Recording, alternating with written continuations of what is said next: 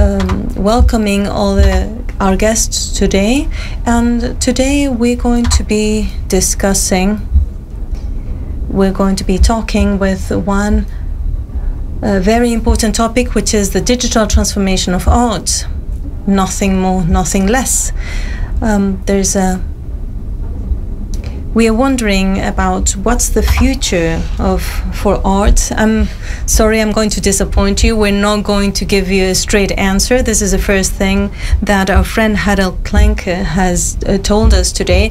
I I am very grateful for his presence here today, and also to the embassy, uh, German embassy, who has uh, organized this event together with uh, Espacio Fundación Telefónica. I would also like to thank Javier Navarro from the Colección Solo both of them are very capable of providing us an answer, maybe not regarding the future of art, but rather focusing our questions regarding this topic.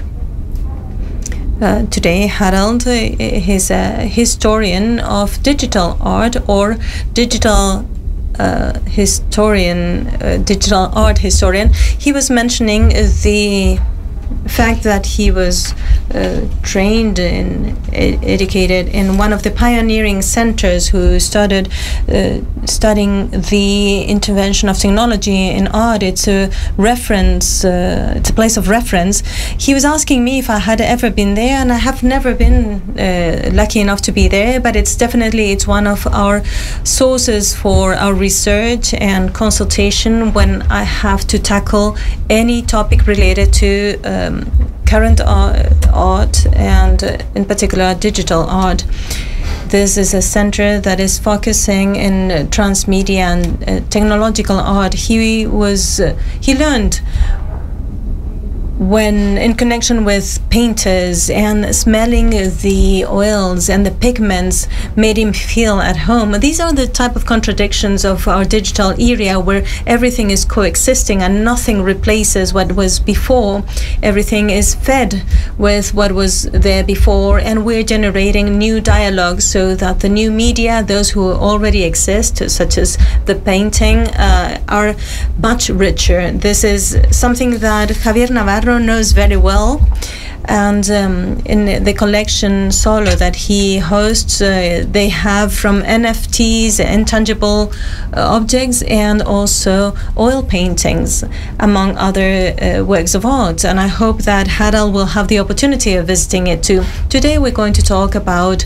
Um, uh, AI or machine learning. A few years back, people said that uh, human creativity cannot be replaced by a robot. There's no chance we can create a creative technology, but it seems like we're there. Uh, or at least we have reached the point in which we start wondering if those artificial intelligences can be independent from their developers um, from those who created them in the very beginning. And these are things that we are going to deal with today. And somehow these new technologies are uh, challenging our own. Um, idea of the artist, of what creativity is, of what imagination is. And when we talk about imagination, I think this is the thing that we're going to tackle today the difference between uh, the image and the imagination. Um, uh, Klinke, Mr. Klinke has insisted on on the fact that he is a historian in digital visual culture within this line of cultural studies, uh, within the Anglo Saxon school, we have to understand where all the images that we are creating come from, or the images that are created by machines who are similar to us uh, come from, and also in what way they're going to add to the dynamic of the images in the future. And when these images are overflooding us, when there's an maybe a hyper um, exposure of all these images. Each of us has a device that is capable of creating new images, and we find the debate of what entity or what category do these images have? Can they be considered art? Will there be a file uh, that can be used by a future artist? Or will they be processed by programs such as DALL-E to create creative images that can compete with human artists? These are things that we can also um, ask about, to question about. We're talking about utopias and utopias and worlds that we cannot uh, even imagine nowadays, but we have the strong feeling that the future is now. So thank you very much, uh, Harald Klinke, for being here today. I will read some lines about his biography. He's a um, professor uh, of uh, digital arts. He studied philosophy, art.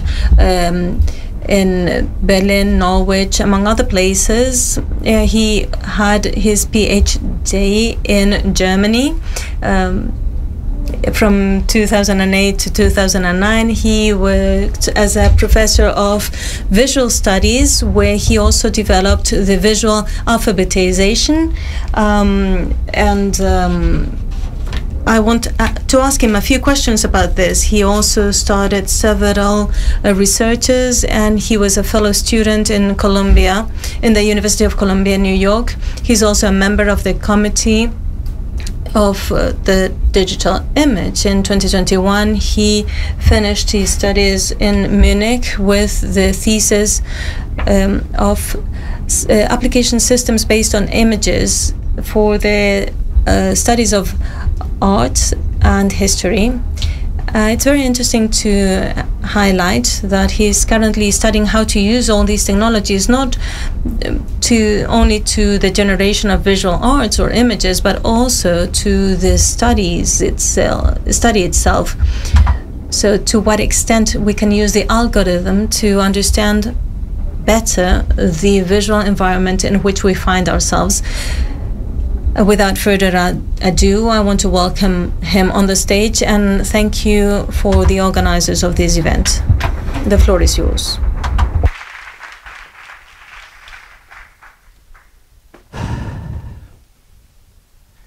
Good evening. Can you hear me? Good. Evening, everyone, and thank you very much for this kind introduction. Um, um, as uh, you just mentioned, I'm an art historian and I'm a digital art historian. That means we are using digital means, digital methods to understand the history of art better. But uh, we not only call it the digital art history, but also the digital art history because both belongs together. The current developments in art have always spurred the developments of methods methods in our field art history. So thank you very much uh, also the Espacio Fundación Telefónica for hosting me today and the German Embassy for the kind invitation. I would like to talk about uh, the digital transformation of the art world within 20 to 30 minutes, um, um, that which is of course a broad uh, field, and I would rather focus on how does the art world currently transform, and what is AI art, and how much does it possibly threaten human creativity and imagination. I have three chapters. This is the first one. We're living in a time of digital transformation. That means the world is always transforming, and today the digital technology is probably uh, the biggest, uh, the strongest force of, the, of a transformation. And the digital, digital transformation in various fields usually takes place in several quite similar phases. The first such, such phase is the digitization of media. That means we've had analog media before today we have digital media and we can use or look at those media as digital data that we can analyze. And that uh, gives rise to new digital methods because we are analyzing that data and we can rearrange certain work processes and roles, for example, within companies. And the third one is within companies, we can invent new business models. We can in the end uh, have a new idea of how what our, our organization actually is. And that tr digital transformation you see in many areas. One is communication. Of course, we don't write letters anymore, at least not that many anymore. We're using instant messaging apps to communicate. Transportation is one thing. We came by an Uber. You step on the street and you call an, a, a car and you are will be driven to a certain place, for example. research, imagine, for example, astronomers who are not looking through certain kinds of telescopes anymore. So they're looking on screens because the telescopes are somehow automated and they gather data, big, big data from astronomy, and only and the researcher only looks at those images in case something is unforeseen. GLAM is galleries, libraries, archives, and museums. Uh, this is the field of culture, uh, where I'm rather from. That shows you that uh, museums are now building data infrastructures in order to better communicate their objects of art into a virtual space, for example. Or government, for example, munici municipalities become data driven organizations more and more, also in order to service, to do a better service to their citizens in that in that city, for example, and many other many other fields you can you can tell yourself. And one of those fields might be art. How is art transforming due to digital technology, due to um, new media, so to speak? The first note is this is not the first transformation of art, of course. The digital transformation is just one transformation of the art world in a series. For example, um, remember the important revolution of artistic media photography following the year 1837 in the invention of Daguerre and Fox Talbot. Photography has been an artistic tool for a certain time before it became an artistic medium itself. Portrait, photo uh, portrait photography, for example, has swept aside miniature paintings, miniature uh, uh, paintings, portrait paintings has been replaced by portrait photography. And photography's factual representation has probably probably been one reason of painting going abstract. Photography has found its place in the ecosystem of artistic media and has transformed the creative process. So what then is the digital transformation of art that we want to talk about? Well, of course, it starts with the digitization of the medium. For example, we are using digital photography today instead of analog photography. We are using tools of creation such as Photoshop. We have to admit the fact that we are increasingly um, producing images as digital born that are not digitized from an analog medium. The second element is we have an infrastructure for dissemination, such as the web, social media, NFTs, um, it, it, the new structure for dissemination is how we distribute and discover objects of art and art and any kind of images.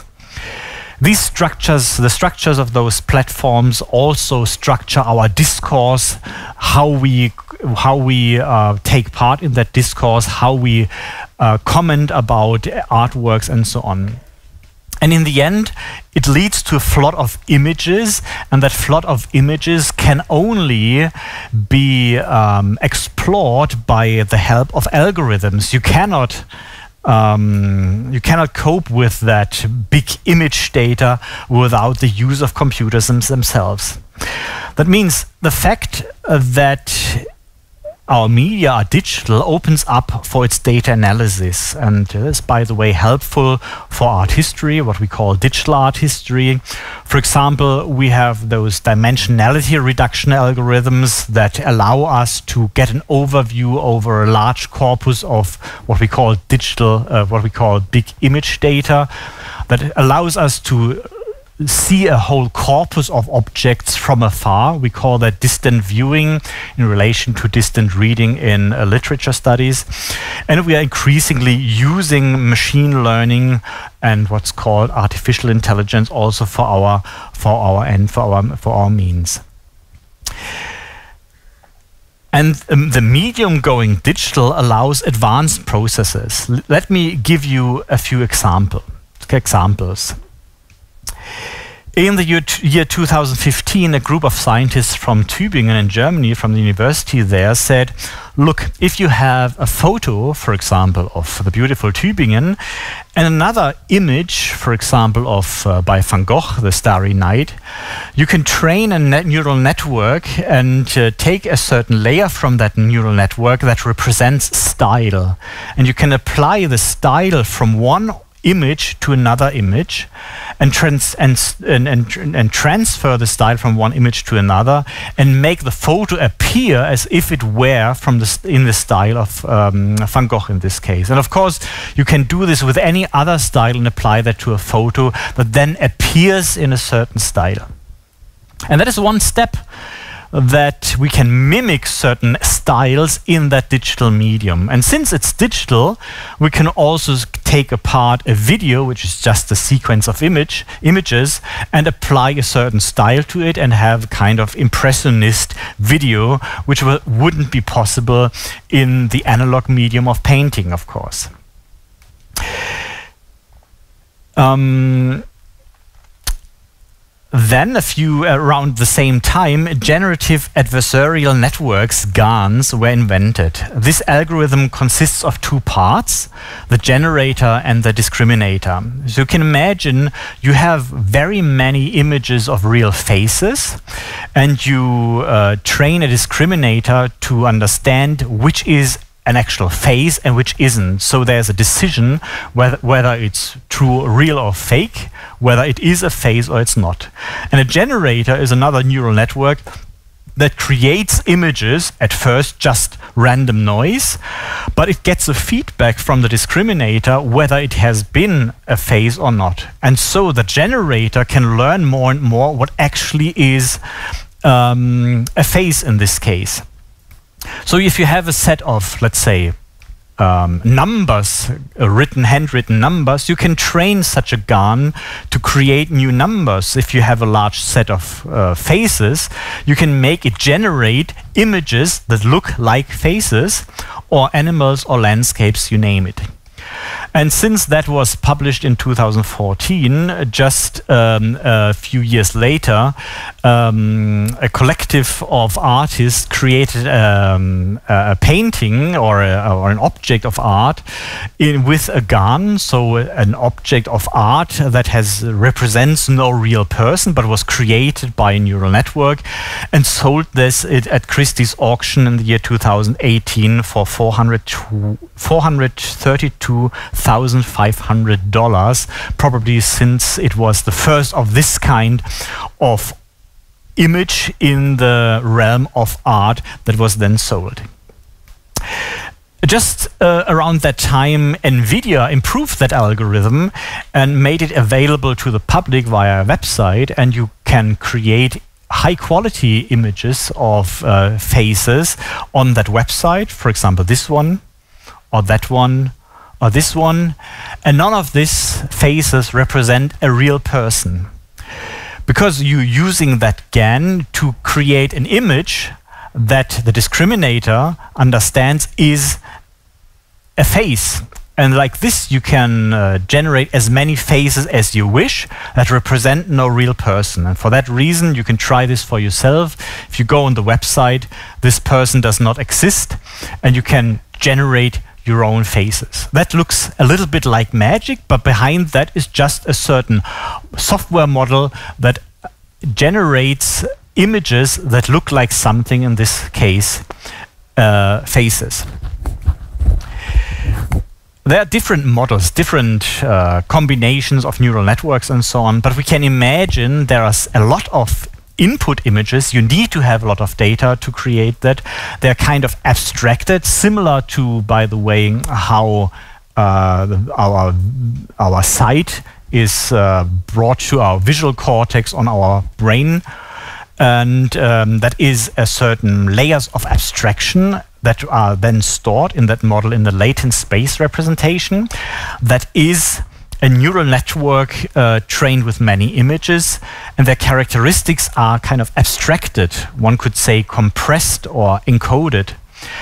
The representation, representation in the latent space refers to a totality of images without being an image or visual itself. And the interesting thing about this is that this reduction can be reversed, kind of decompressed or decoded in order to generate further images that were not previously in the input.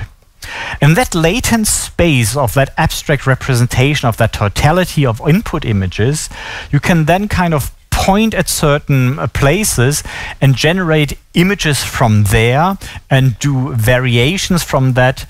Um, and in that space of possibilities, uh, um, you can kind of fish in that pool, in that pond, uh, and, and, and, and pull out new uh, images. Next in that uh, history is the year 2021 when the CLIP algorithm was um, introduced that's called Contrastive Language Image Pre-Training. This is a neural network that's trained on a variety of image and text pairs. That means this CLIP algorithm can create a vector space whose dimensions represent both features of images and features of language. So we have those images and we cannot only get certain tags or terms, it seems as if it describes the image as if it understands what's on the image. So it seems like it's not only a translation, but if as if it un understands certain concepts. So it's a multi-modal connection between images and text, and this is what we call a transformer model. And now imagine we're not turning images into text, but we're turning text into images. And here comes DALL-E that's creating images from text. It is somewhat complicated, but we can imagine it like this. We have a prompt, an image, a text input, where we explain something so the other way around compared to clip. It will be encoded into a kind of latent space, and we have a certain different latent space where the images are, and we uh, bring that into parallel, and from there we can then again generate something, uh, something visual from there. And the most um, famous and one of the first such transformer models from text to image is DALL-E 2. DALL-E 2 is a neural network developed by OpenAI that can create images from text descriptions. And OpenAI is engaged in research into artificial intelligence with the aim of developing open source artificial intelligence in a way that, at least according to their own statements, does not harm society. So somewhat strange that it's financed by Microsoft and Elon Musk, but that's set aside. The word DALL-E is a combination of the name of the robot in the movie Wall-E and the name of the Spanish artist Salvador Dali, of course. In order to be able to generate images, the model was trained using millions of images available on the, on the web, on the internet. And the first uh, version was introduced in 2021 and the second one in April this year. So how does that transformer model actually work? Well, in the beginning, you have a prompt, a text input, and I've just used uh, the title of this talk today and used that as a prompt. And it generates images from that. Maybe that's not a very good example because it's a rather abstract prompt and you get rather abstract images. And artificial intelligence obviously has to do with somehow a human, uh, a skull, and uh, maybe an eye, and some abstract patterns around that. This is how that uh, a, that AI model imagines uh, that text input. What you can do is you can choose one. I've, I've chosen the second one and ask it for variations. And what you see here, it moves a little bit around in that latent space and looks for other um, possible images um, that can be generated from that, that in content that is from the descriptions are the same but have different representations. What, you, what else you can do is what's called in-painting, that is you erase certain elements from that image and you describe in that prompt what you would like the, the, the, the complete image to represent. I've added taking place in Madrid. And what you can see here are uh, uh, for different iterations. What you can see here, the right part stays the same, and on the left part, what I've erased, something else has been inserted. It's not a good example because nothing resembles uh, anything like uh, Madrid in this case, uh, but um, it's still it still shows that it preserves the content and it preserves the style that is somehow a plausible image in altogether. You can also upload your own images. I've taken the Hunters in the Snow by Bruegel and just uploaded that and asked it to generate certain variations. And this is what it gave me in return all those four variations look very much like Bruegel. Of course, the computer doesn't know that there are hunters, doesn't know that there is snow or, or dogs. But from its experience, from its visual experience, from millions of images from the web, it can recreate something similar to the input image. And it looks very plausible, surprisingly, almost uh, magical, because it could be a Bruegel, at least in that uh, digital representation. There's also a feature that's called outpainting, so it can imagine something beyond our canvas. And if you create that, you get a few more birds, a few more snow, a little bit more snow. You can enlarge it, in, uh, enlarge it in that direction, and you can see that even the landscape in the background has been. Um, created from the input image. And that image, uh, if we look at it, is somehow plausible because you still have those kind of skaters there. You still have that uh, snow landscape. Uh, the um, mountain in the background has turned into a kind of castle.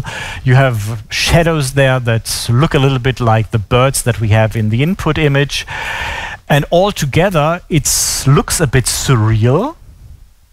But at, at first sight, it looks somewhat natural somehow. It looks like the input image. And the allega allegation here is that some people say, what if AI now takes over art? Because it looks like an artwork, of course. So we could say everyone's an artist, just like Joseph Beuys said, because everyone is, has access to the service of uh, DALL-E uh, at OpenAI, and you only need a prompt, and something is created that looks like an artwork. And some say this is the end of creativity uh, because we have handed everything over to AI. But I say it's the beginning. It's the beginning of maybe a new creativity. It might be the catalyst of a transformation.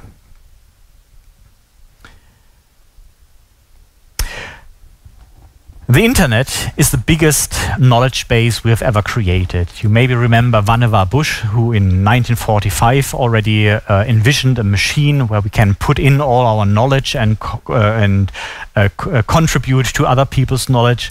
We remember Tim Berners-Lee, who has conceived the World Wide Web as we know it today. And the World Wide Web is not only textual knowledge that we can write and read, but also a repository of visual representation.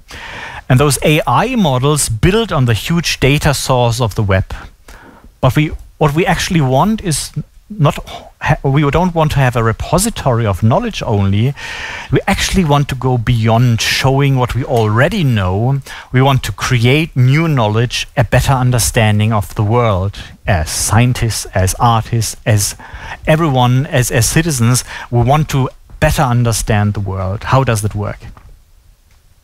Well, Plato said that all ideas uh, behind the visible wo world come from the topos hyperouranios, an over heavenly place where our souls come from. According to him, understanding is just remembering those ideas.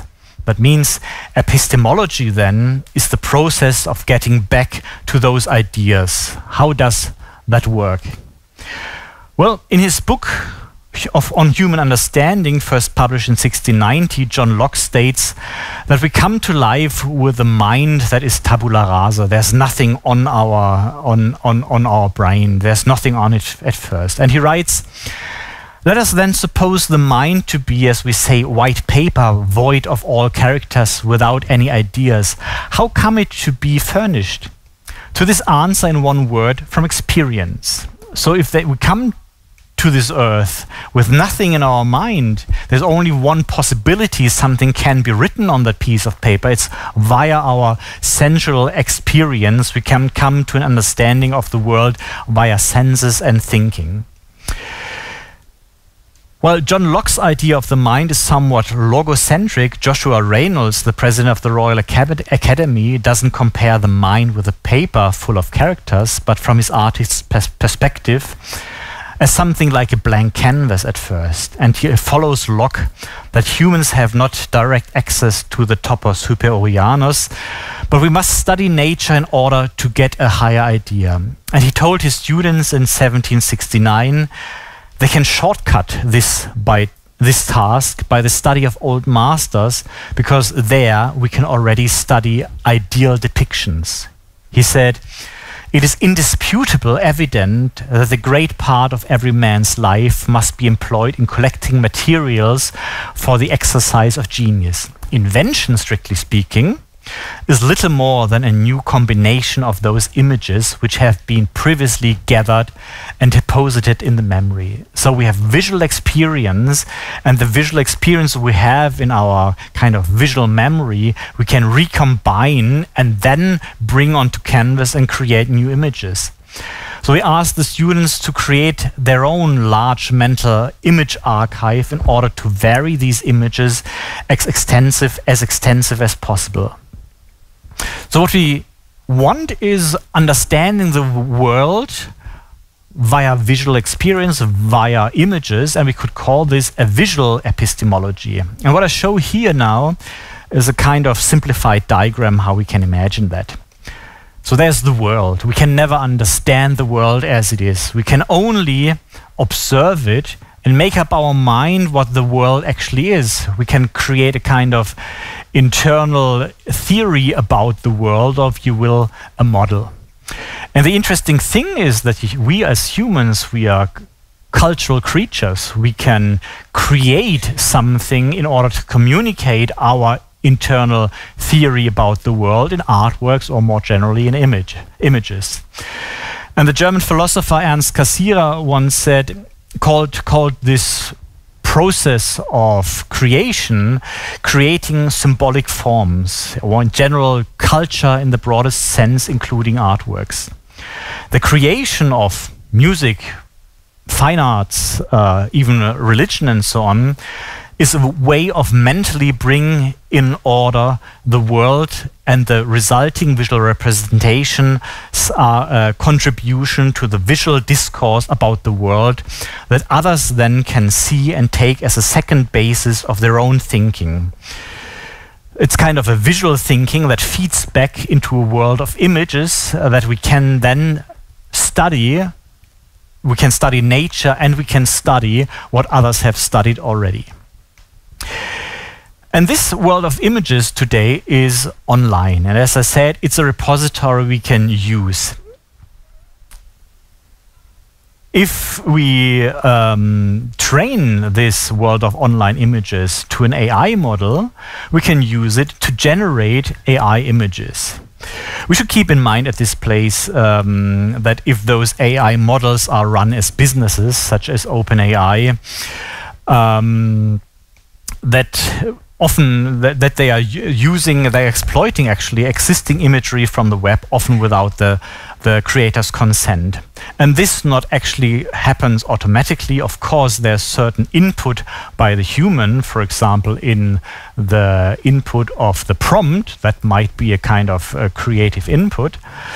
But in general, it builds upon the stock of images we have found on the web.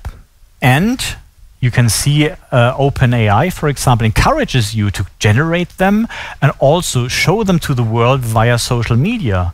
So what happens here is also a feedback loop into the uh, world of images online, and future AI models will build on those objects that came from that model itself.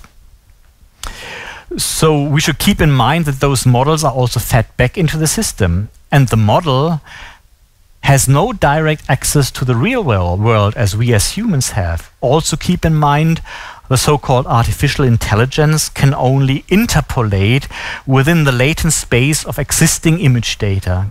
It is a simulation of intelligence and a simulation of invention. AI can emulate, it can create images that look like existing images, that look like what we, what we consider to be art from art history. Real creativity, we usually think, is more than that.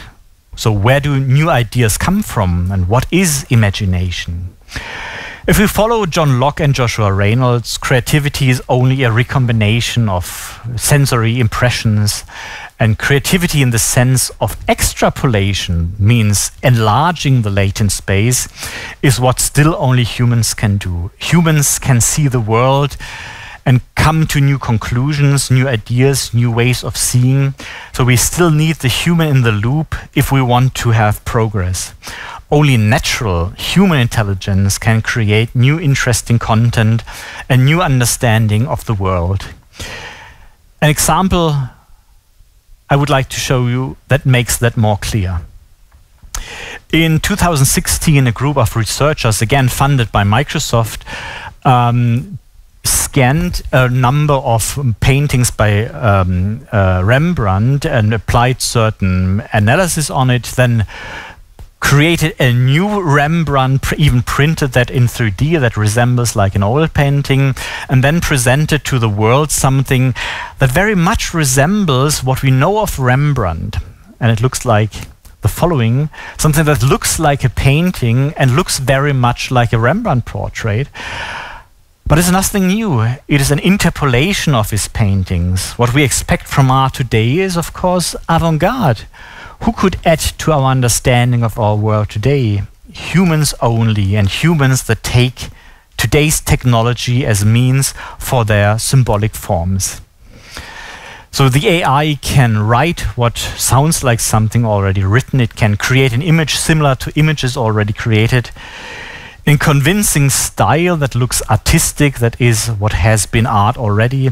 It can interpolate between billions of existing images. It can it cannot extrapolate, it cannot create something new. Hence, it looks like art and needs additional human thought and skill to become art. Then it will be a serious new medium in the ecosystem of, of, cre of, of creativity.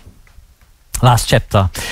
If we are looking for something new, then we need to go with AI image generation in the direction of experimentation, experimentation of how we can we use how we can we can use it as a tool for creativity, not as a replacement of creativity. Also, let me quickly show you a few examples. And most of the examples I show are taken from Twitter, actually.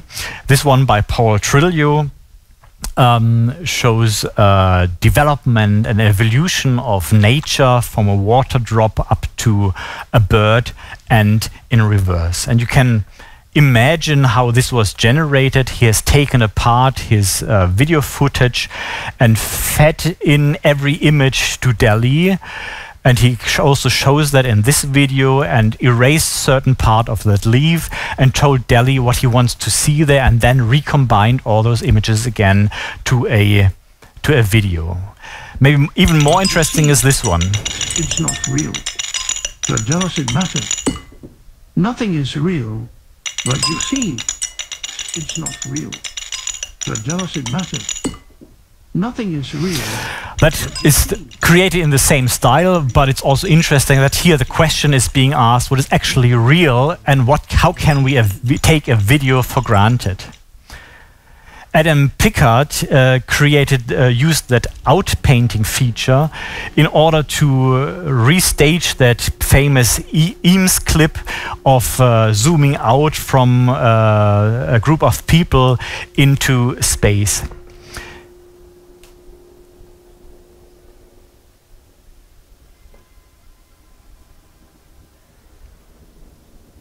So you see every prompt that he entered, and like this, you can create a, a video like this. Or something like that by Glenn Marshall, and you see videos like this uh, more and more in on social media. Again, you see um, a sequence of images, uh, what we call a video, with the same content because it always has the same prompt, but in different variation, but in the same style, and the content seems to be croissant, marmalade, and uh, and coffee maybe in Paris or something like that. And of course, you probably know him, Mario Klingemann used a generative adversarial network to show portraits that are evolving, and he asked you to sit in front of those screens and maybe reflect on what an image is, what a portrait is, what identity is, and maybe who you self are. Or last example is Refik Anadol, who used 300 million photos of nature and did not try to create convincing photo-like images, but to capture the beauty of nature in its evolving abstraction, or as he calls it, hallucination. It's something between abstraction and a reference to an idea of nature. What we see here can be called an artistic research, maybe. That means experiments with image processing, with image data and algorithms, dealing with computer science methods, but in the context of an artistic appropriation. These are just a few examples, and I would like to close with the following what I think. AI art, I believe, will transform the niches of existing artistic media.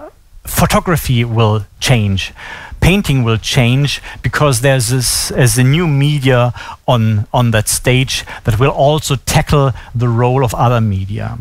It will transform the artistic process because we will put it into that process as one element of somehow an, uh, a companion to our own creativity, and we can rearrange that process of creativity it will transform the role of the artist because the artist maybe becomes more dem democ democratized, that more people can think of themselves as artists and show their works to the world.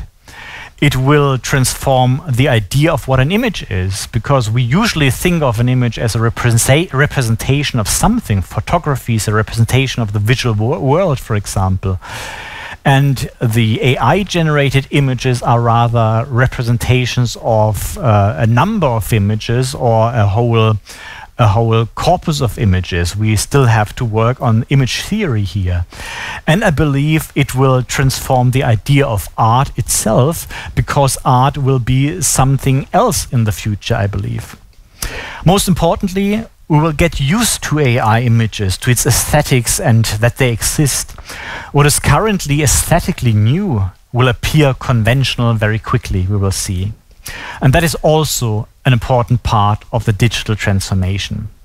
And lastly, to make this clear, I'm not saying every artist today should work digitally and use AI methods as tools for their own image creation. I say this is currently the most innovative field in image making and art. Hence, it is most interesting for me as an art historian, since here new things take place, and here I see the future of art, and I believe we are still in its beginning. So, thank you very much for listening.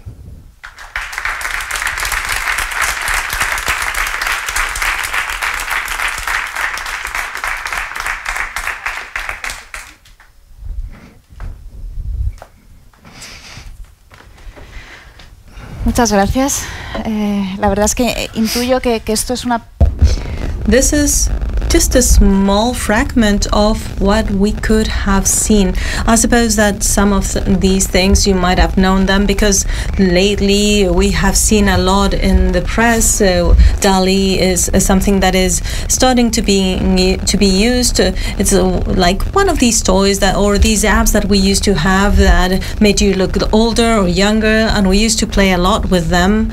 And there are new models every day, more sophisticated, and they are interfering, or at least they're challenging us um, regarding the future of the creator, the visual creators, or the visual arts in the broader sense, uh, considering that they are always incorporating the new technologies. I want to introduce uh, to and, have uh, Javier Navarro in uh, this debate. He is a BA in um, journalism in the University Complutense of Madrid. He has also a master in from the Instituto de Empresa and um, degree by the INSEAD school. He has worked in different advertising agencies such as Wunderman Thompson, and uh, he has also worked in Update and many other initiatives. I think this was started here and uh, another uh, and another project called the Digital Brain or Brainy. I think he can contribute a lot to this debate. He's also the strategy director of the Colección Solo, the art collection. If you have not seen it yet, I would uh, invite you to. Um, to ask for an appointment so you can be uh, you can visit it uh, there seems to be um, a lot of hunger for collections, and there isn't enough space to uh, host all the uh, works by the artists uh, that are currently available. I am very interested in what you have to uh, give us today. Uh, I didn't know um, what glam meant. Uh, I just found out today, and you are part of this glam world that uh, is surrounding in creation, and you are supporting artists firsthand. This collection is not a passive entity, but also supports from different uh, aspects, from different angles, such as production, to different artists, uh, among which is Mario Klingemann, whom we have seen already in the presentation before. My first question to uh, pick on some of the questions that Harald mentioned is, and I think that it's probably the main doubt that we might have, uh, which is regarding the possibility of uh, artificial intelligence not being able to create anything new, but they will concoct or they will intercross uh, different existing elements, and therefore creativity will be uh, sort of the result of an addition of uh, things, an assembly, so to speak. But I know that Javier and I we have talked about certain artists that are treading into that realm where, uh, although where they're questioning if artificial intelligence can really create art by itself. And I'm very curious about your viewpoint on this. Um, the artists in uh, certain collectives that are also starting the research in this field. Do you think that uh, artificial intelligence cannot create new art? Yeah, bueno, muchas gracias por la. So, very good question. Thank you very much for the introduction. Congratulations on your presentation, Harald. Um, our vision or point of view because we're speaking about different artists mario klingemann uh, we work with him in our uh, support program and we work with other artists that are managing um, digital environments. Not all of them use ai Mar- mario does is an expert in ai and that's his mission. I mean the mission the vision is that it's it's a tool that can help you bring your art to discover new boundaries. I mean, it can help you design new environments. It can help you bring your art expression further away. Um, I think that the artist's role has to be there. It's true that AI works with images, millions of images. Probably there's a bias because they are much older images, although there are millions of images. Maybe they are not data yet. Maybe there are other modern images that are not there because of legal issues, so there's some kind of bias there. I think that the um, contribution of the artist is how to work with this in order to reach new boundaries. I think that it's not about revisiting historic um, works of art or historic artists, um, but to discover new challenges or new ways of expression, or to connect the AI world and digital art with sculptures, for example, with other kind of expressions. We've seen that with video, not only with uh, painting. So I think that it is a tool I mean, if we ask Mario, maybe he would say, "Well, if, uh, we used to work with brushes. I work with code, so uh, I work with AI tools, and that's their tool to express." But I don't think that it's going to replace um, the artist. So, we have seen several examples about the extent to which these um, devices can create images that are not strictly new because they're not opening new creative paths they have a certain capacity of accessing this database of um, the that a single person or even a collective of uh, a community of artists would not have access to. One of the advantages uh, now is that we can have access to a, a huge brain. So, to what extent is creativity connected to the storage of visual references? So, a sort of RAM memory, so to speak. One individual has a limited memory, but if we have a big collective brain, we encounter a lot of uh, visual references, and this might bring about a potential creativity. So, what is your take, Harald, on about the amount of um, uh, awe that these tools can create, and if this is based on the massive amount of uh, references that they have, if we if imagination is not always considering different references in a brand, and is there anything that we cannot replicate with these codes, in your opinion? We're living in a world of big data today, and we must get used to it. Big data means that um, we have access to information more than our human brain can actually process. In former times, you went to the library or to the gallery, and you had a, a look at a certain uh, uh, uh, parts of information. And today, we have access to lots of data that are generated and cre- uh, or, or, um, generated and accessed uh, every second. And living in a time of big data means for us that we can more easily navigate through um, um, congestions on, on the street, for example, because a lot of data are gathered and Google knows that um, there must be something in front of us, so it gives a di- a- us a diversion on the street, for example. So data is gathered and brought to our to our advantage in certain ways, and a lot of business models are based on that. But living in a time of big data also has some um, um, im- so some um, uh, reflections in our day-to-day life and also in, in art. As you said, I totally agree that such AI models are kind of um, search engine for images, a different kind of search engine than we know from Google image search, for example, where we enter a, a text and we get an actual image back. But it's a latent space representation of all images on the web. And we have an idea of an image and we're looking for it and it generates from that latent space.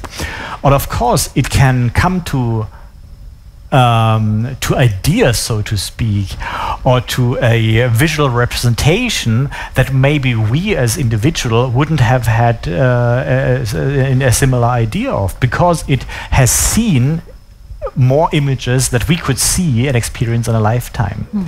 So if we have access to such a powerful tool, how does it change our way of thinking about images and knowledge and information? At first, it's a fantastic tool to give us access to something.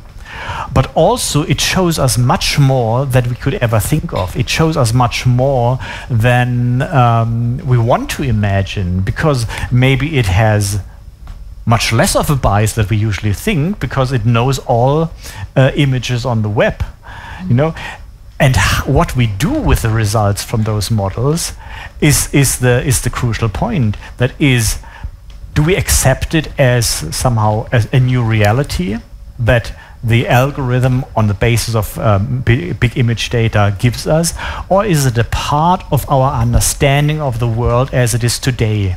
And I believe the great artists such as Mario Klingemann use that technology in order to explain us, look, we are living in the world of big data, of big image data, and the more we use it, that technology, in order to express that, fa- uh, that, that fact, the more society tends to learn from it, understands it, accept um, that technology in our day-to-day life. And I believe art, artists and artworks have an important role in that in that digital transformation of our society to make that understandable and in the end maybe somewhat accept- acceptable.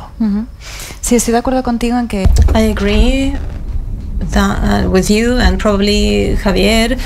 Uh, things in the same line that the contemporary art or that art that wants to create the avant-garde has the um, responsibility of representing its environment in a critical way or not in a mimetic way but also in order to create a certain reflection of on what's going on and the use of the tools with which we coexist and that also entails certain um, things. Uh, for instance now we see there's a sort of a, a genre or a, a trend that is the surveillance art that uses the same devices that so we are being controlled with um, in, in in a way all these sensors all all these mechanisms that actually um, put our individuality under surveillance or under control, and they use this in order to uh, denounce these um,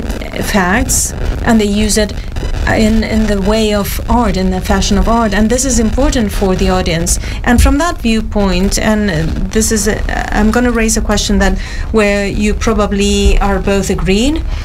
I'm very interested in the field of research that you have opened, not only regarding these tools that can create images, but also that can use methodologies from the artificial intelligence in order to create art history, which is quite controversial because the way we create, we generate the narrative of art is also very flawed. And I would like to connect this with a piece of work that Mario was making, um, which is a robot who is a critic, an art critique, and that can actually stand in a gallery and determine which is the most valuable piece of art, um, uh, probably uh, by comparing it with all the big data that it encompasses, that it has inside. And um, so, adding all these ideas, putting them all together, can we really have a robot that is a good art historian or a good art critique, uh, and in, to what extent the algorithms that we feed it with can affect this uh, the results. Isabela es uno de los proyectos. Well, that's a very good question. That yeah, that's a project from from Mario. It's a project to create a robot that is able to create critics. But as happens with these platforms, as Harald was saying, there's someone behind that is filtering, that is showing uh, what is a piece of art to these platforms and he's fine-tuning uh, the tool until he considers that well when he has this this project ready it's able to make a critique about a piece of art and other platforms or other works that are Mario's that we've uh, been involved in one one is called Botto, B O T T O. That it is a self-employed artist, and he's a decentralized artist. So it's quite similar. Um, it's a platform that Mario is training that has been exposed to millions of images. This would, this would be impossible for a human being. Millions of inputs, and they are creating. They are training what's art and what's not art until a platform can create pieces combining different styles from every kind of time and they're creating many many pieces. And the same uh, platform rules out others because they consider that they couldn't be a piece of art and others are available for the community. I'm saying that this is decentralized because the community votes the fragments as we call them that are considered as more artistic. And these fragments are uh, go to an auction on the internet and as far as it is in the market it's a piece of art but without this filter, without this human filter, the platforms wouldn't have this capacity of creating, the capacity of being an art critique. So related to this, as Harald was saying, it's true that we can't see all the pieces of art that we have, all the pictures, all the videos, but it's true that this is what we do. I mean, every artist, every creator has references. Uh, we all have references. Uh, everybody who's writing, painting, um, taking pictures, we uh, we all have references in our head. You combine them all together and you have an artistic reference. And this is what uh, platforms do. Basically, they have access to these images and through their trainer or through the artist, they define what could be um, an, a piece of art. But I insist that if we don't have this filter, if we don't have this trainer that is the artist and is the one who defines, I don't think that we can create a critique or a platform of a, of a self artist, so to speak, without without human contribution. I would say. ¿Y cuál es tu opinión? So, what is your opinion or how what are the lines that you're following in your research in order to apply these mechanisms or these new tools to uh, research in art history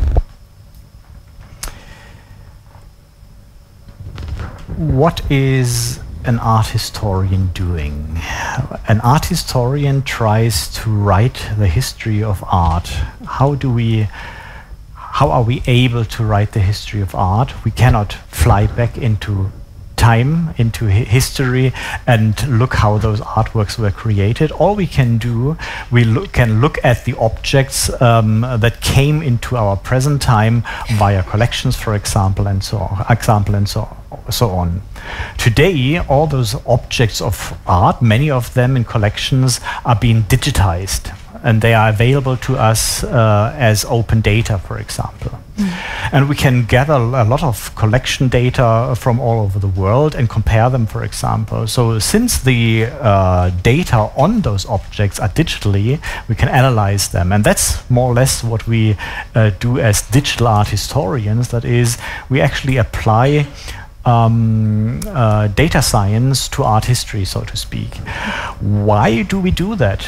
Well, at first, because we're trying also to get on that level of big or bigger data. We don't really have big data in that sense, but bigger data in order to maybe not to have that bias that we usually have. Because if I in Munich go to my library, I usually get uh, find books there about uh, European artists, and I cannot have that wide uh, spectrum of information in that library. So I, as a person, are more biased, possibly, as the the the, the data set that I had available. But there is no data that is unbiased. We can never have that because we can never judge how biased or unbiased it is. But the more data we have, the possibility is higher that it's maybe less biased. Or at least if you look at uh, Wikidata, for example, it all depends on who is the creators of those data. So we also need to create the data the, that we then use to analyze. But the idea behind that is that we can write art history in new ways and maybe tell stories that haven't been told before or get connections that I haven't we haven't seen before. Or tell the story of that very artist who has maybe not created that many um, um, artworks but is still worth telling uh, his the, the story. Because usually we have those number small number of of great artists and artworks that we keep on quoting, but data science would give us possibly the opportunity to have other views onto the history of art, other views on our culture, and uh, in the end, maybe get an, a little bit a different idea of who we have been and who we are today. Mm. But that is a path to walk. We ha don't have the perfect result sets. Mm. We cannot tell whether um, our initial ideas will ever see the light of the day. But we are trying out what we can do with the use of data and, and, and, and algorithms in order to, our do, to, to do our job in a at least different and maybe better way. Um, it's a sort of dream, but at the same time, the digital gap has a very strong impact because if we have this assessment database of that potential new art histories or a new narrative regarding art is based on collections or archives that are digitized. Um, so that this archives or collections or people who are not able to digitize their their uh, material they will be left outside. So there is a risk when it comes to digital technology and there's a certain responsibility on the side of government so that we do not leave on the sides on the margins. We are trying right now to bring in everything that we had left aside from the colonialism etc but now we are reaching a new stage in which we have to try not to leave anybody outside uh, because of digitization. So, with big data, will we, the biases be uh, less strong, or the bias will be based on those who are stronger and who can impose their ideas on the web? Exactly, that's that's the task of today. Uh, let me tell you a quick um, a story. We, for seven years now, we have a, an annual uh, summer school in Malaga. That's a cooperation of uh, Berkeley, Malaga University, and uh, the University of Munich. And we do a digital art history summer school there with students from Europe mostly, but during COVID, it was online and we had the possibility to have more students from actually all over the world. And I showed them Wikidata, for example, as a source for art history. And I said, here you can search for your favorite artist. Look, for example, my, uh, my favorite artist, say Velasquez or whoever. And people from South America and India and so on, they entered their favorite artist and said, zero results. We have no data about our favorite artists, of, of, the, of the artists in our countries that are so important to us because it also depends on who are those, in this case, mostly American collections that are able to employ someone to bring their internal databases, for example, to Wikidata or, or other open data platforms. And of course, we will have a global uh, imbalance um, on the representation of what the history of art is, because some areas of the world are less able compared to others to have a representation of their culture in the digital space and that's of course a big issue mm -hmm. um, precisamente precisely in that sense and also connecting this with the question that I was asking uh, at the beginning you were talking Javier about the decentralization and obviously this is something that keeps on coming up, which is the um, ownership, the authorship, which is something that is something that we are leaving behind. Uh, we are questioning, we're challenging the single author idea and that uh, patriarchal idea of the issuance or the creation of art. But this is uh, the the romantic idea of the genius artist is still there. It's very well rooted, and it's true true, however, that we have uh, turned this authorship into something more liquid. We are reaching the idea of decentralization where the authoring is shared by a community.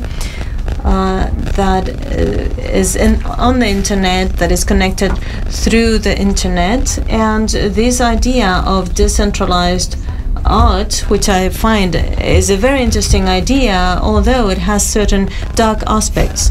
To what extent a decentralized um, uh, community or art has good taste, bad taste, all these ideas re related to the big classic ideas of, of beauty.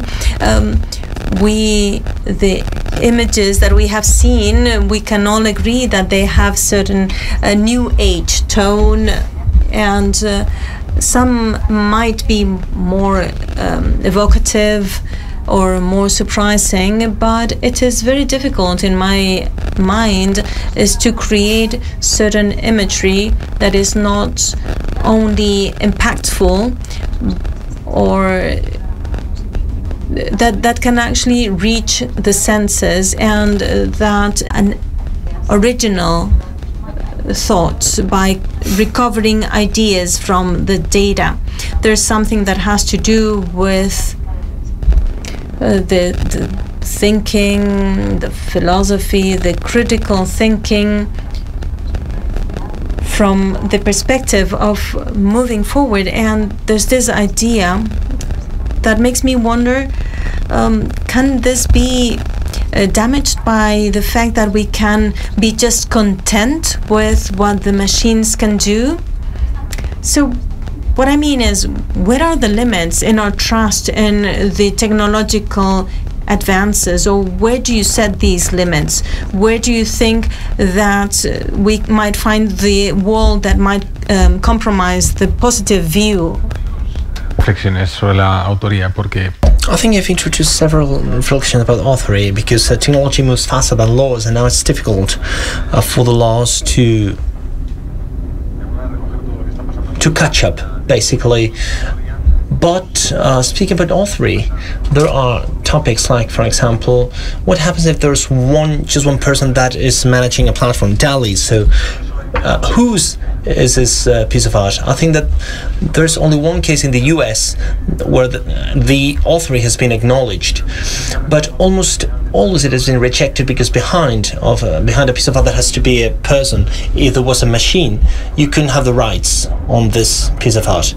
This is one topic. Another topic is that it is a community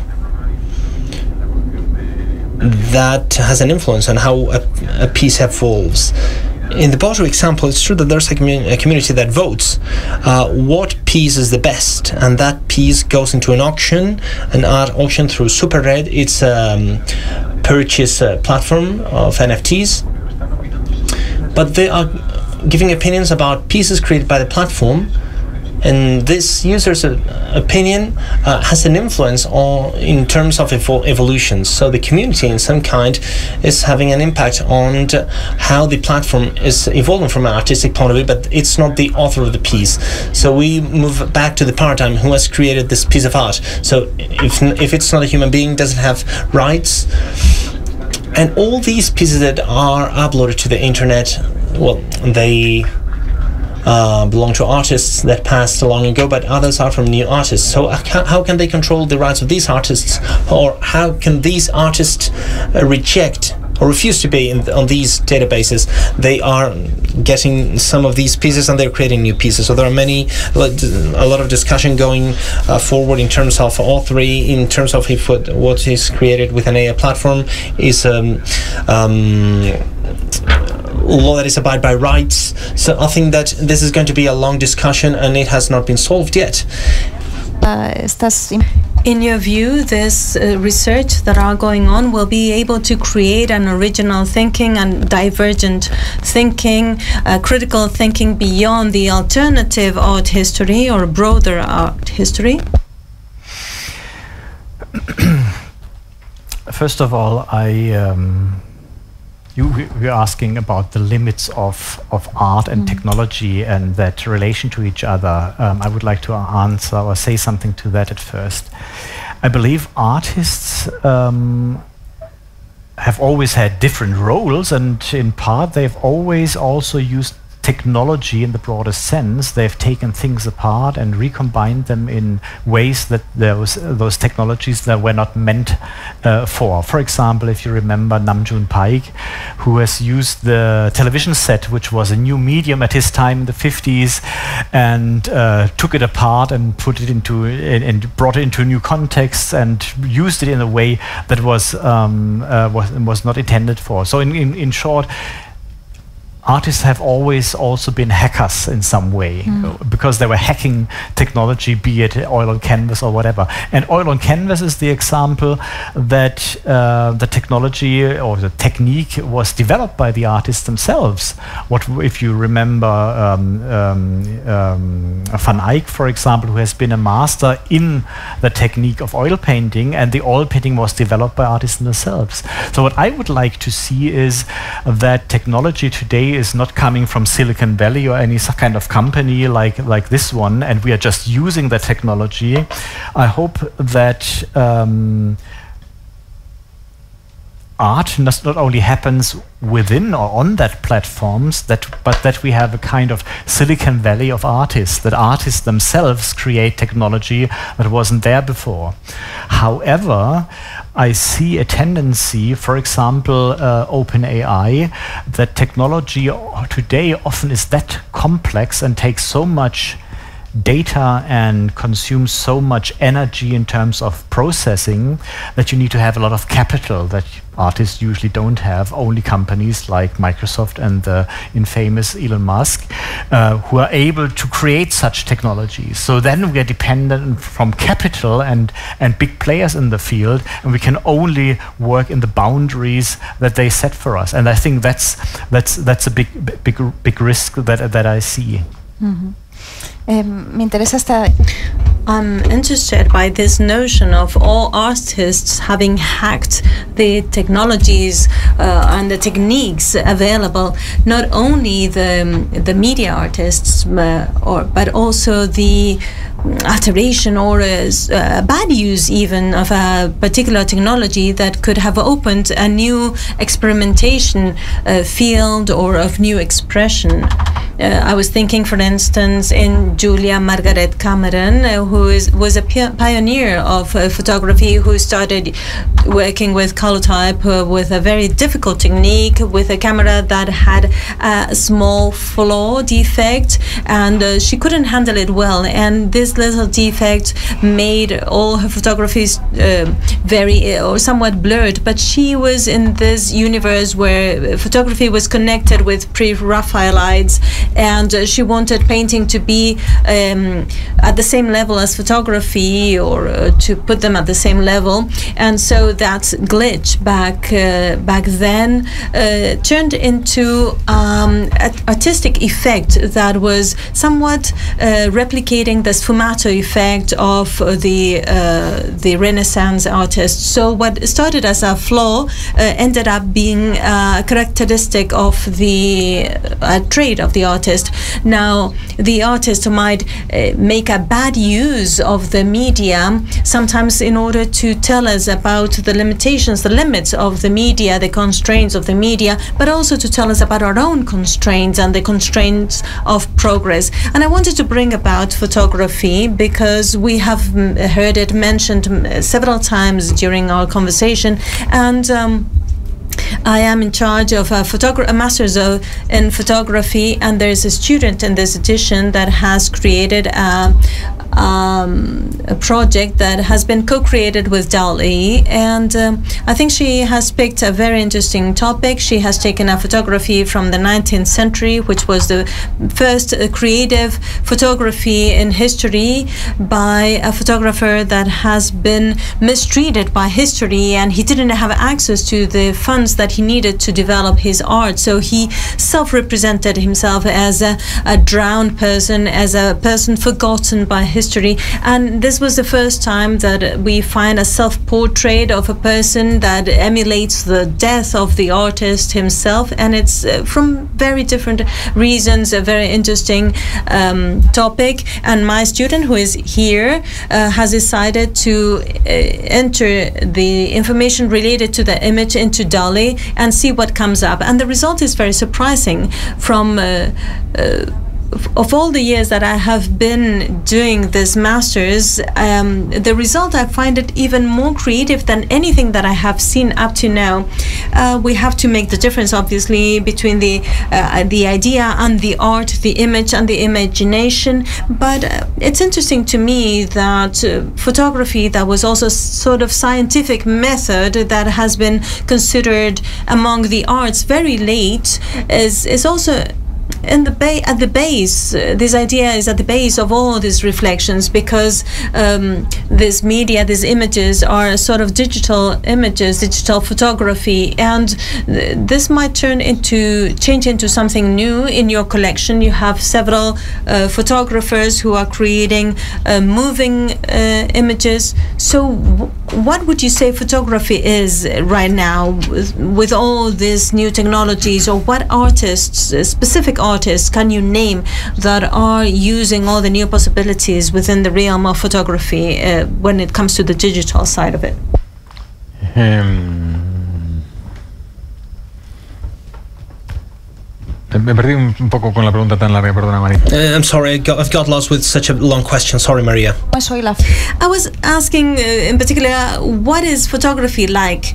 Considering all the artists that you work with, uh, to what extent the digital technologies are entering the creative processes? Cuando- Well, we should ask every artist, but uh, eventually they are tools. AI, uh, digital environments are tools that, I mean, interesting things to see where they bring the artists to, what barriers they can, um, what boundaries they can explore. But the artist and the audience, the, the artist needs someone to enjoy the piece of art. So it is where they want to take us to, how they explore the combination between picture with painting or uh, sculpture. What can they do? What can they create with these elements? It's in their heads. How can they use it? Uh, how they're able able sorry to create them. So how they can talk to the platforms. There are new roles for example people that are able to talk to ai platforms to create interesting things, interesting projects.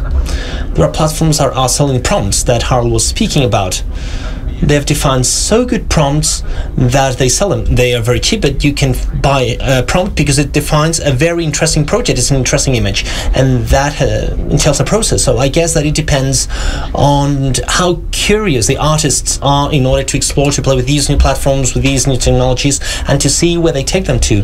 That is the artist's role, as you were saying before, to experience. Um, I mean, to to yeah, to, to, to try things with paintings, culture, photography, or um, with uh, facilities or with the experience. Not only creating a painting, but also to create experience. Mm, maybe the the trend is to create experiences that move the spectator, that make you feel something different. I think that's the role that the artists have to play. That uh, earlier that I believe if a new artistic medium comes into the ecosystem of uh, of visual or artistic media, um, the other medias change as well. And we have seen that when photography came and how painting changed. And I believe um, if um, uh, AI models uh, play a more important role in the future, also photography as a formerly new medium will change. How, do, how, how does it change? For example, um, photography is often about creating an or generating an image from the visual world. Fact is, we are looking at the visual world with two eyes, while the camera only has one eye. With the invention of photography, 18th, uh, 19th century, some early 17th century, it was black and white. So we have a three-dimensional impression of the world in color and in, in dynamics, and the uh, photo actually takes a very small fraction of that, that resembles like something like the real world, but actually black and white, static, and two-dimensional, one-eyed. Um, and today we uh, all have wonderful camera obscuras in here. I even have three here for some reasons, and we are walking around with cameras all the time. And we think what we get on screen somehow resembles what we have seen with our own eyes. In reality, there's already AI in all, all our phones. For example, it starts with HDR images, that is high dynamic range. That means with an analog photography, you had to um, choose which part of your image you want to have in good light. So it's too dark or too light, uh, maybe in other parts. With the photos you take now, actually the camera takes three or five or seven photos, and in each pixel it decides which has the best lighting, lightning. So you get a, an, an, image that wouldn't be possible with analog photography. And you get an image that somehow looks more natural to our ways of seeing. And in addition, you always have a kind of filter um, uh, that uses neural networks in your, at least in this phone, uh, that improves your texture, for example, in photography and so on. So actually you receive an image that is already went through a process of data transformation. We call that computational photography that is already very far away from the kind of photography we probably grew up with. So AI is already there in photography. That mm. is no answer to your question on its artistic um, results, but it shows that also already our impression of or of our idea of photography actually is has already changed more than we usually think. Mm -hmm. O sea que de alguna manera también nos so, to a certain extent, we're living in a hyper realistic uh, world since all our memories are connected to these improved images, these optimized images, and not. Uh, the, the, the memories of uh, my generation are tend to be in a sort of orangey tone, and um, now we have this hyper realistic uh, idea which doesn't correspond, doesn't match really with the world that we see. And I'm very interested in the fact that we are making hyperboles of reality. We are creating an imagery that is very seductive, that can really be uh, shocking, and uh, this is sometimes achieved through the super realistic idea. Sí, pero también estamos viviendo ahora en un mundo. Yeah, but we are also living in a world. I mean, the, we have heard about metaverse. There are many people experiencing maybe the mo- the youngest one are experiencing with a metaverse that they are not hyper real. They are uh, invented worlds, imaginary worlds, like we can see them uh, on, in the cinema I guess that there's a very wide range in photography, uh, cinema, etc., between the most and the least realistic imaginary worlds that we can enjoy. So it depends on the experience, it depends on what you're seeing or consuming then.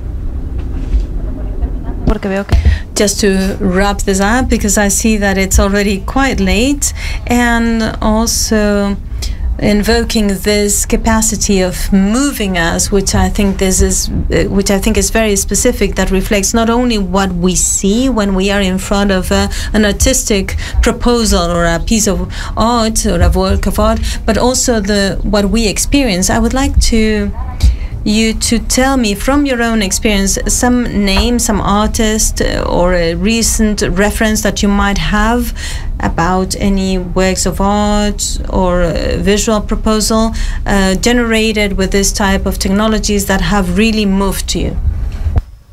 Moved. Well, the, the, the, I, am a fan of two artists that I've already shown. One is Refik Anadol and the other one is Mario Klingemann. Mm. I think if something's contemporary art in that area, then it's them. Mm. Um, but moved is uh, a difficult term. I am moved, if you want to call it this way, in the end of last year and early uh, this year, when a lot of people from all areas of the world came onto a platform and said, now we are all artists and we have the possibility to show our work before. And that has been the NFT platform. Mm-hmm. Because um, on that platform, of course, I, I don't like to speak about art so much. I call all of that digital visual culture. That is a much broader term. It's mm. about images and image generation. And if someone creates a, an image that is interesting to others, they are maybe even willing to pay for it. And if you want, you can call yourself an artist or an image creator. But that platform of NFTs uh, was also uh, promoted on social media. And I've read, and that was not only marketing, that some people from South America, for example, said, it's the first time I have access to a global audience and I can show myself and my work and um, some of them could even make some money with it and someone wrote he had paid off the mortgage of his parents house and that was really true. ¿Y a ti Javier?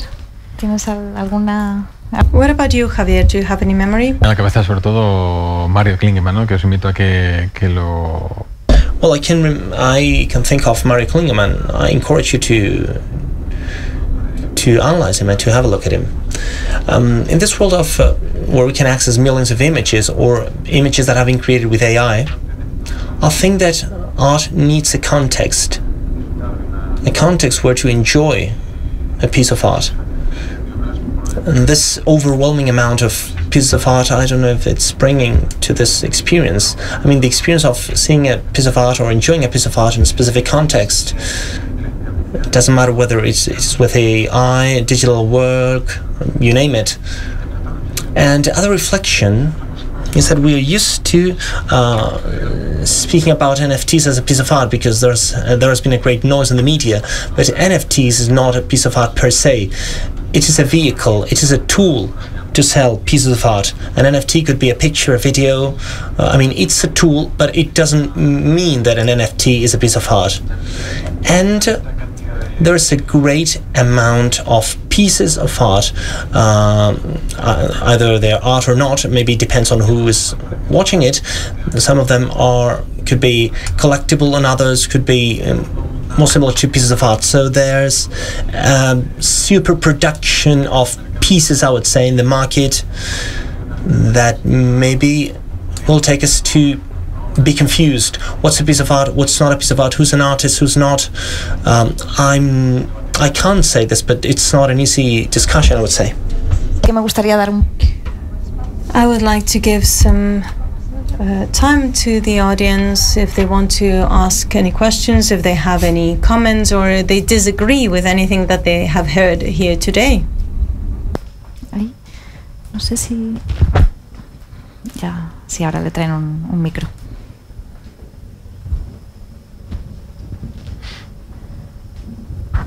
Gracias por la ponencia. Eh, que- Well, thanks for the talk. I would say, like in the chess world, uh, well, it has lost its splendor since Deep Blue, uh, uh, won that uh, that uh, that. Mm, the game without Kaspar- uh, with Kasparov. Maybe this could could this happen with art? May, maybe a machine could create something that a human being could do. Um, could this happen too? Uh, I mean, with with chess play, what has happened with chess players could happen with artists too. Well, that's a very good question. I think that there's a still uh, chess world championship, right? And it has its audience. Well, maybe there will be someone that could lose uh, the interest, but um, these thoughts come to my mind. If journalists will disappear or photographers because cell phones uh, exist, well, everybody still exists, and I think that artists will exist. Um, it's true then the world of art is highly based on scarcity.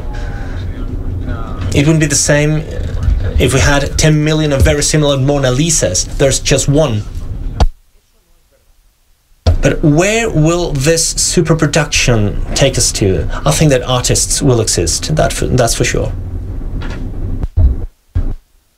a chess computer is uh, somewhat strange. I'm not familiar with today's chess computers, but I uh, understand how the classical chess computers work. It's just about computing power. Say they calculate every possible move and value each of that and then take the highest value and move that in that direction. And if you uh, calculate three or five or 15 future moves, and you can do that very quickly, the computer will always be the bit better player. At least the very e- simple chess computers are always better than me. um, but uh, but you can use a, um, a chess computer in order to you can use a chess computer to compute very quickly chess moves but that's nothing creative. You cannot compare that to the creation of images in general or art in particular.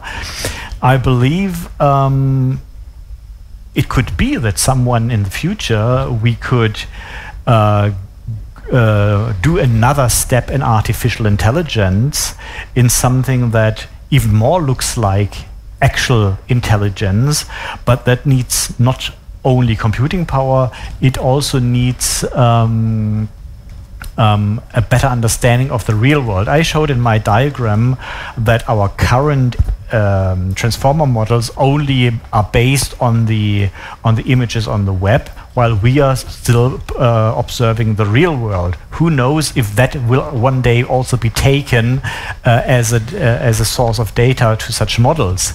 But in the end, we always when we are, whenever we talk about artificial intelligence, we come to the point at which Alan Turing has been already in the I believe 1950s.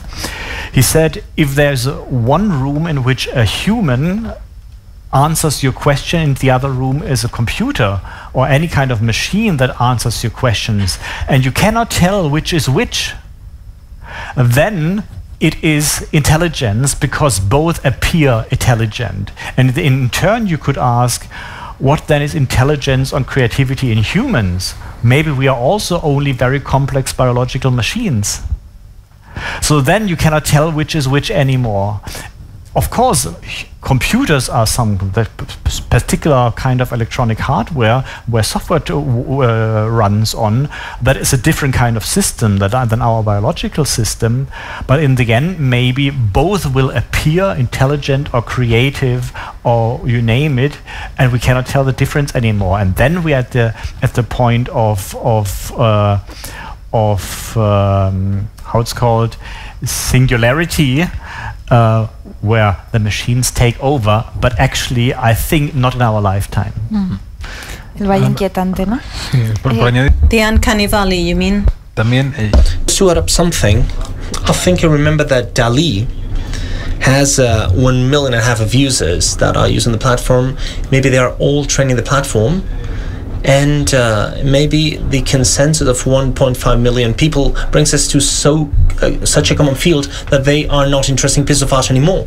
I think that artists try to take us beyond our boundaries. If there are 1.5 million people uh, logging into a platform, they will do something similar, and maybe it, this could take us to a, to a very common field. We have to diversify the platforms. I think there was a raised hand over there. Ah, disculpa, sí, perdona, es que no estaba, perdona. Eh, primero felicitar. First of all, I would like to congratulate you uh, for this talk and this debate. I had a question for Harald. Um, first of all, I would like to ask him about the epistemology and creativity in human beings because, from my viewpoint at least, um, I believe that there is a creativity that uh, we do not talk about, and it is a realm that we could explore from an artistic viewpoint, which is the creativity of nature itself when it comes to creating phenomena or wonder if biology and the spontaneity uh, given by physics or that comes out of physics could be considered something creative. And to what extent this moves uh, aside or makes our, our idea change regarding what is human.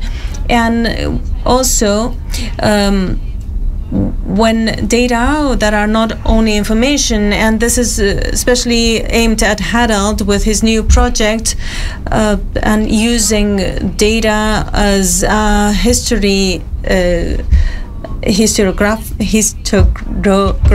tool. And when we are creating prompts when we want to bring things to light how can we correlate this data? Or how can this data correlate in order to generate new things and generate a certain openness when which is where i think there might be a difference between them and the human beings. So how all that when it comes to the generation an idea or a content that goes beyond production because I understand by this debate that the production of images is not the same as the production of image of art both because of the uh, ecosystem that surrounds it and for many other aspects that are required for it to be called uh, work of art. And so, to what extent would you say that we are creating connections among data, but how can we create information based on a database that, as you said, is biased in the sense that if the history of art is a biased history with capital uh, letters, about the European cultural uh, history, what does this mean to modern art and modern art history of art? And could there be a linear narrative that really feeds on our own history? How can we turn this data into information? And I'm sorry, I, I went, uh, my question was too long, sorry. Um, first of all, there's no unbiased data. Data is always biased, as far as I can tell. And so it's always a difficulty. How do we find out how biased it is in order to tell our stories upon those data? It's difficult. And with my students, uh, where I teach them uh, data analysis, we always um, say we can only uh, um, get results on the on the basis of the data that we actually have. We can sometimes find out where there are blank spots, where are the gaps, and but we can hardly say how biased a data set is, only if we can compare it to another one and so on. So we can all we always have to kind of live with it and have our maybe our own intuition um, to to um, balance that. So that's um, a difficulty, of course, but it we have always used un, uh, um, biased uh, information. If you only go to your own library, as I said, that's also kind of biased. So we have to kind of live with it, I believe. Um, but I think uh, in your in the first half of what you said, um, you ask um, a different question about what art itself could be um, in, in in the digital age. And I would like to just quickly mention uh, two things. I, I, I, spoke about Plato. And Plato had a very distinct idea of what an image creator should do. That is only mimicking the visual world. For him, someone who, who paints a trompe-l'œil, for example, would be a great artist because it looks as if it's real reality. And photography would be perfect to the idea of, of, of an image at Plato. But the philosopher Aristotle had a totally different idea of what art and uh, poetry and so on should show. While Plato wanted to show what is, or how things appear. Aristotle said uh, poetry can show how things could be or should be. And that is a little bit um, the distinction between what I said is um, interpolation of existing data and an extrapolation, if you want to call it this way, or, a, or an invention of new things that maybe only humans can actually do and the computer can only mimic. And I also mentioned um, Joshua Reynolds, who, who followed John Locke in the idea that everything in our brain is only a recombination of central data. And at the same time, William Blake um, uh, made some comments on the discourses of Reynolds, and he totally disagreed. He said, no, uh, actual creativity, he didn't call it creativity, actual making of art happens in the process of actual painting. So it's a process that happens in the in the painting, and that comes close to what I mentioned in with the symbolic forms of Ernst Cassirer, that we are able to create something actual, new and meaningful, and that's maybe something very human. Set aside what I answered to you, that the computer can maybe one day um, simulate that, that appears as if, but so far uh, that has not taken place, I believe. And so far there is still a distinction between what we are actually at least able, potentially able to do, and and what we should strive for as human beings and as artists to go beyond what actually is and to create something something new. Maybe that's very modernistic, mm. but uh, I believe um, we can also find that in the history of art for at least uh, the last centuries. Mm. Gracias. ¿Tenemos tiempo para una última pregunta? Do you have time for a last question? Eh, mi pregunta iba. Hello. Well, my question was about um, what you said about intellectual property of all these pieces of art. In the end, we've been talking about the fact that these pieces of art are generated by AIs, by neural networks and so on. But up to what extent these AIs shouldn't be considered as means, like for example, someone that has a great literary capacity of writing down what he is imagining in his head, but not that technical capacity of executing it. Up to what extent AI should be considered a tool to make what he has in his head into an image, and on the other hand, on the other side, combined with her training, etc., and images with copyright to train these uh, AIs, etc. Up to some extent, these uh, artists take these references. So up to some extent, they inspire, they drink, and they learn from these uh, art references that have uh, intellectual property, and they are not criticized, but it is considered an evolution. So up to what extent wouldn't be something similar in terms of training AI with these uh, kind, with this kind of um, pieces of art? Yeah, I agree with you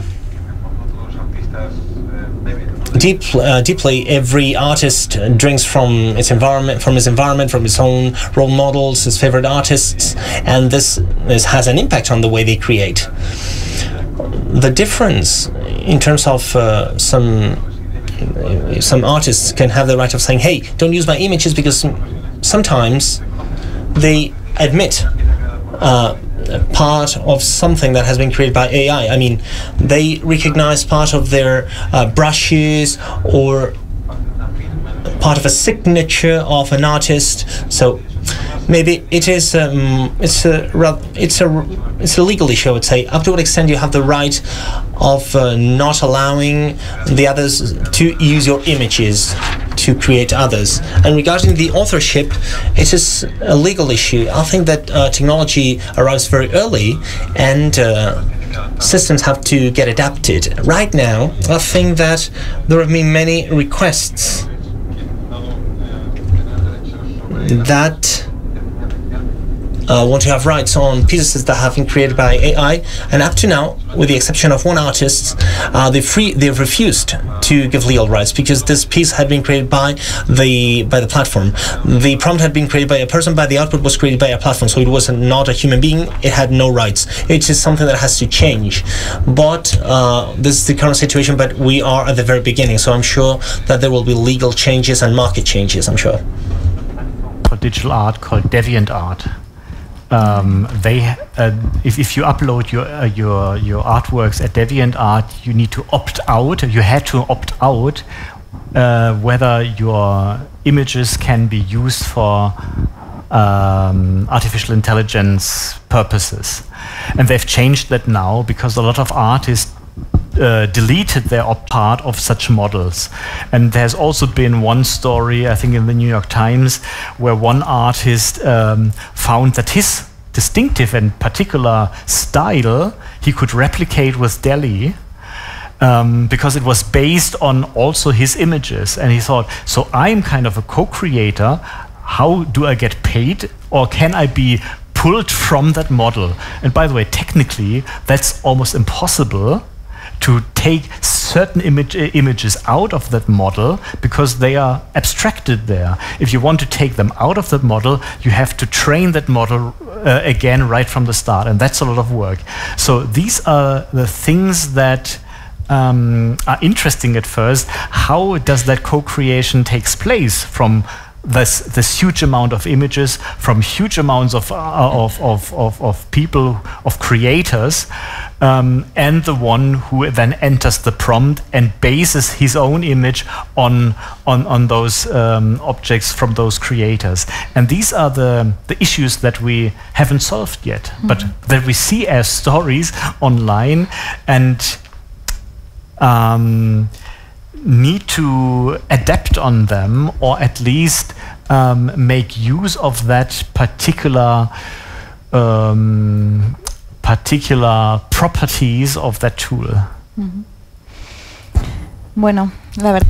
Well, I think we could be chatting forever on such an interesting topic. I was saying that uh, answers were not going to be given today. There are so many open questions from the legal viewpoint, from the ethical point of view, and. Uh, also with regards to what is the function of creativity, but I wanted the right questions to be asked. And some of them you have given us, and. Um, it's funny to think that they're all uh, dealing with the human side of creation. We are talking about uh, creativity as a biological or organic impulse, and in a debate about the future of art in the digital area. We are discussing if we are more uh, Team Plato or Team Aristotle, and with that, you you have to choose uh, this, uh, which is your team, and this is the basis from for any creative act. And uh, with that last note, I would just want to thank Harald for sharing his knowledge about this universe with us, and also to have started some internal uh, controversies. And also, thank you to Javier for all his knowledge about this realm, this field, because I think it's very important that this art that has uh, that is in our households through the screens finds um, it's space when uh, new experiences that go beyond the, the screens are shown and probably museums need to facilitate the access to these pieces uh, to these works of art uh, beyond the screens. And thank you everyone. Uh, it's a bit late but i think the topic really deserved a longer chat. So thank you everyone and see you next time. Thank you. thank you very much. It's been a pleasure to be here. Thank you You're welcome. Thank Thanks. you so much.